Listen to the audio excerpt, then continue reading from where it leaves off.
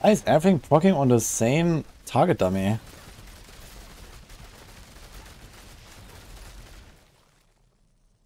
Like everything is on this one in the back.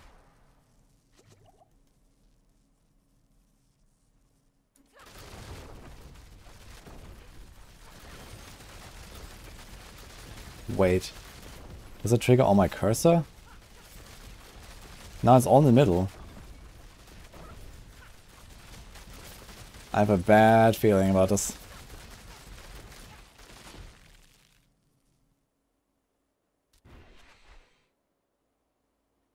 Okay, I'm gonna click on the one in the back. Oh no. I'm gonna click on the one on the left.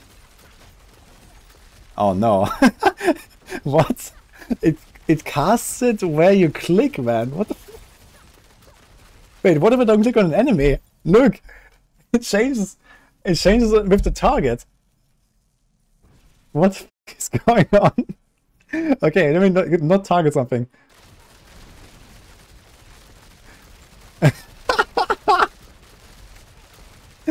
oh no!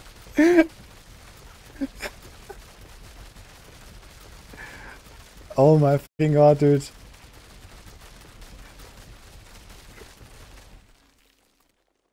Who coded this item? Wait, how does it work on console? This is why it was not spawning with TB, you're right. Okay, now now comes a really interesting question. Wait. So we do this. Yeah. So what if I mouse over a guy with TB and not hit him? That's what I'm doing now. Okay, let's see. It works, dude. It throws the, the trap at the guy, man. Look.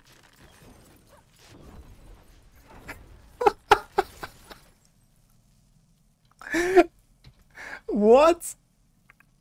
That is insane, man.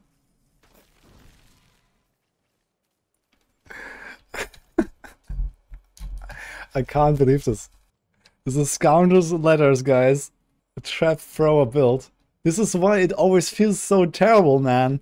You need to mouse over an enemy, and then it works. And then it actually seems like 70%. Here's a trap, there's something, here's something. Like, it kind of seems to proc now. Look, there's another death trap, there's like the third one. There's like the third caltrops.